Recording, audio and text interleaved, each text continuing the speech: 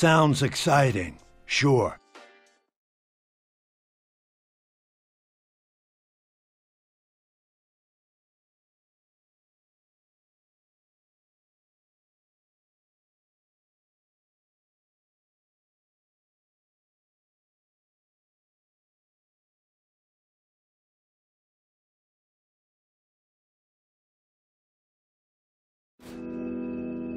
I plotted the fastest route to the Allied HQ.